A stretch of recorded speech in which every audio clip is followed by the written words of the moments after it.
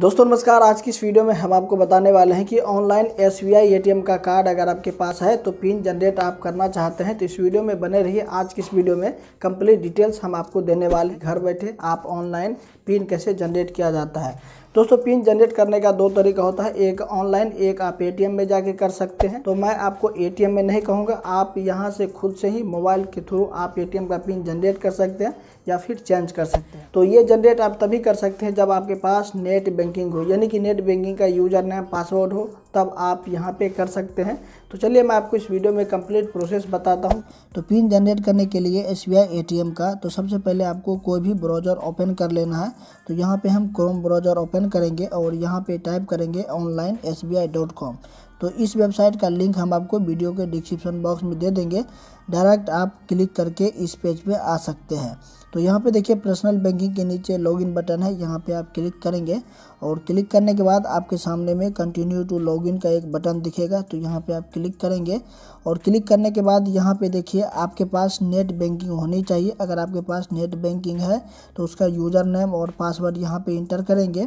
इसके बाद यहाँ पे देख सकते हैं, ये जो कैप्चा दिख रहा है, इस कैप्चे को इस बॉक्स में इंटर करेंगे। इसके बाद यहाँ पे लॉगिन बटन पे आपको क्लिक कर देना है। आपके रजिस्टर मोबाइल नंबर पे ओ आएगा वन टाइम पासवर्ड तो इस बॉक्स में आपको इंटर करना है। इसके बाद यहाँ पे सबमिट बटन पे क्लिक कर देना है। बटन पे क्लिक करेंगे और ऐसा करने के बाद आपका नेट बैंकिंग ओपन हो जाएगा। जैसे कि आप यहाँ पे स्क्रीन पे देख रहे हैं। तो ऐसा ओपन होने के बाद यहाँ पे देखिए थ्री लाइन आपको यहाँ पे दिखेगा। तो यहाँ पे आपको क्लिक कर देना है और क्लिक करने के बाद यहाँ पे देखिए ई सर्विस का एक ऑप्शन दिखेगा। तो चलिए हम यहाँ पे क्लिक कर देते हैं ई सर्विस वाले पे और इसके बाद यहाँ पे आपको बहुत सारा ऑप्शन दिखेगा। तो यहाँ पे देखिए फ़र्स्ट नंबर पे है एटीएम कार्ड सर्विस तो यहाँ पे आपको क्लिक कर देना है एटीएम कार्ड सर्विस पे। ऐसा करने के बाद आपके सामने में कुछ इस तरह का इंटरफेस खुलेगा। तो यहाँ पे स्क्रॉल अप करना है पेज को। तो आप यहाँ पे देख सकते हैं एटीएम पिन जनरेट का एक ऑप्शन दिखेगा तीसरे स्थान पे तो लिखा भी है यहाँ पे एटीएम पिन जनरेट तो यहाँ पे आप क्लिक करेंगे और क्लिक करने के बाद आपके सामने में दो तरीके हैं जिनसे आप एटीएम का पिन जनरेट कर सकते हैं। एक है ओटीपी के माध्यम से, जो आपके रजिस्टर मोबाइल नंबर पे एक ओटीपी आएगा। एक है यूजिंग प्रोफ़ाइल पासवर्ड के माध्यम से। तो ये अगर आपको प्रोफ़ाइल पासवर्ड याद नहीं है तो कोई दिक्कत नहीं है। आप जो है आपके रजिस्टर मोबाइल नंबर के द्वारा एटीएम का पिन जनरेट कर सकते हैं। तो चलिए हम इसी के बारे में आपको बताते हैं कि यूजिंग वन टाइम पासवर्ड यानी कि ओटीपी पे यहाँ पे आप क्लिक करेंगे।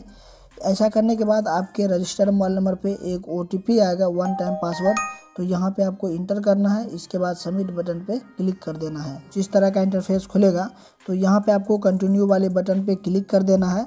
और ऐसा करने के बाद आपके सामने में फिर से एक नया पेज खुलेगा। इस तरह से कुछ इंटरफेस यहाँ पे खुलेगा। तो यहाँ पे आपको जो कार्ड का लास्ट का नंबर दिखाया जाता है, यहाँ पे आपको इंटर कर देना है। इसके बाद यहाँ पे सबमिट बटन पे क्लिक कर देना है। यहाँ पे देख सकते हैं कि इंटर फ़र्स्ट टू डिजिट यहाँ पे आपको इंटर करना है, जो कि आपको याद रह सके। तो चलिए हम यहाँ पे फ़र्स्ट टू डिजिट यहाँ पे इंटर कर देते हैं। इसके बाद यहाँ पे सबमिट बटन पे क्लिक कर देंगे।